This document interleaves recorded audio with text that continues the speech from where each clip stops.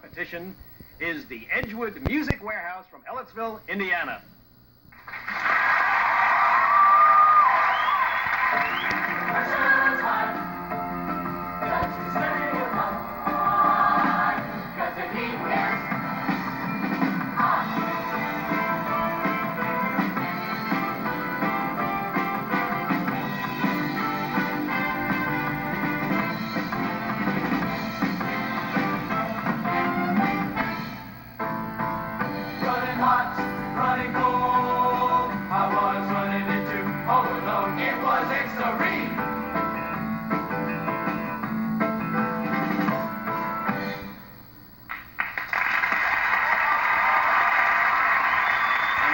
Find out what the judges have given to Indiana.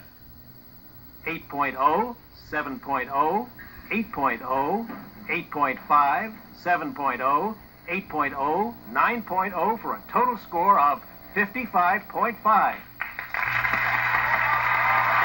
And now from Onalaska, Wisconsin, it's the